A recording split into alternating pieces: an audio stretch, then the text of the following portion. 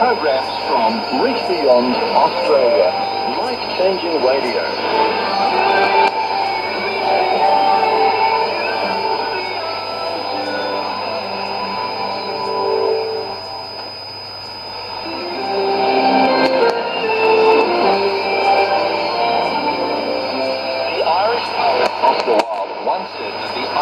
get rid of temptation is to yield to it. The downside of the Holy Spirit's power is right unable to resist the siren call of sin.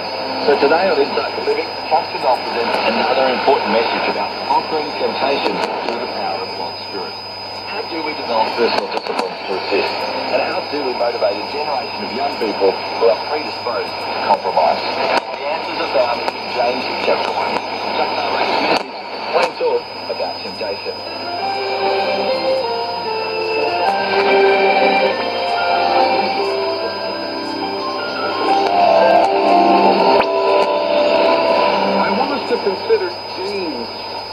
to the subject of temptation.